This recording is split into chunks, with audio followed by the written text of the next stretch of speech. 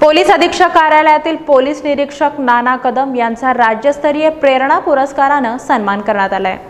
Police निरीक्षक नाना कदम यांचा नुकताच राज्यस्तरीय प्रेरणा पुरस्कारानं सन्मान करण्यात आला.